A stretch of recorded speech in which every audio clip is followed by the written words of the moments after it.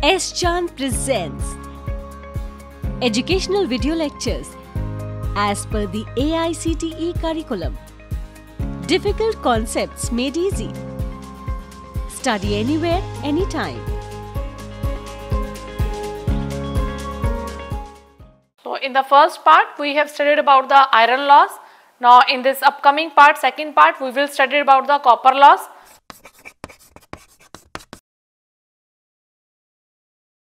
I am Narinder Kaur. Now if you want to study this topic in detail, kindly refer this book by S. Chand Publishing. E-book link description is given in the description box. So let us begin with this copper losses. So next is the second kind is the copper loss in transformer. Now iron losses are basically uh, due to presence of iron or due to presence of core while the copper losses are due to windings in the primary and the secondary part. So in the primary part there is a this is known as a primary winding. If this is a core, this is a this is the short representation of transformer. And this is a load, we will get output over here. Now if now there is this is a primary winding, this is the secondary winding. So in case of windings, there are some losses of the current or losses of the power.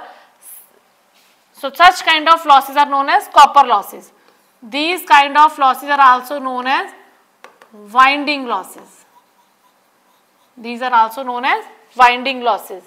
So in the copper losses, these are given by here in this case the power loss that is given by Cu that is equals to I square R.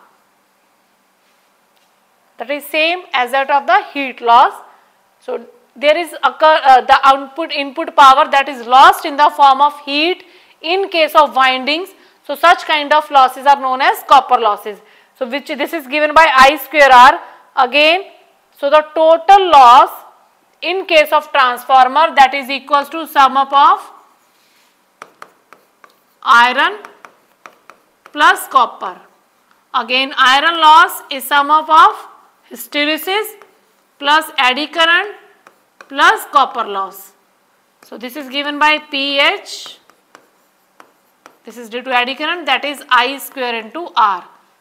So the total output, so the input in this case that can be equals to P of output, output power plus losses. Now this input is given by I1 V1 cos theta 1 that is equals to I2 I2 V2 cos theta 2 plus P of iron plus P of copper.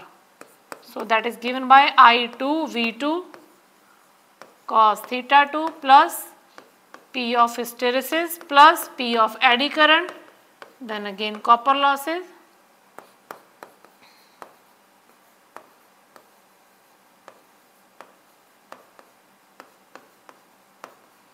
P of this plus I square R. So this is the input in case of input is represented by this formula. Here this is the input power, this is equals to output power and plus loss. Now in case of ideal transformer, so first case when there is a ideal transformer, losses are 0. Practically this is not so.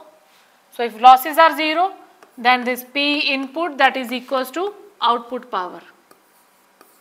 Efficiency of the device is 100 percent and the loss that is 0 while in case of practically transformer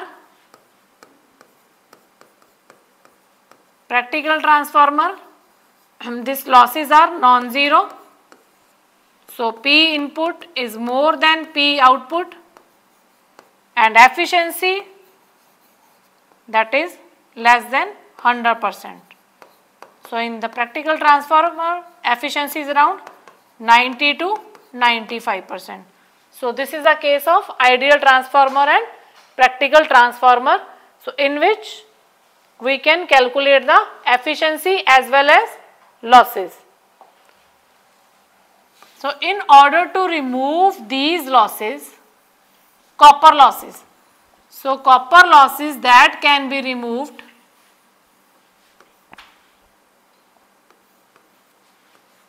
when we take the input so our main focus is to remove these losses. So these losses can be removed by using the open end circuit. When the open end circuit is used means there is no load. So when there is no load this is the open end circuit. So in this case here this is the open end circuit. So in this case the copper loss or which is known as a winding loss that can be minimized. So copper loss that can be or the winding losses that can be minimized in order to make these uh, losses very small the open end circuit is used in this case. So this is all about the second part. So in the first part we have studied about the iron loss and in the second part we have studied about the copper loss. So iron loss and the copper loss they makes the output value very small. So our main target is in, um, in order to minimize these losses. So these losses can be minimized by using the open circuit output voltage. Now if you want to study this topic in detail, kindly refer this book by S. Chand Publishing. E-book link description is given in the description box. If you like this video, please kindly like, subscribe and share this video and also press the bell icon for the future notifications.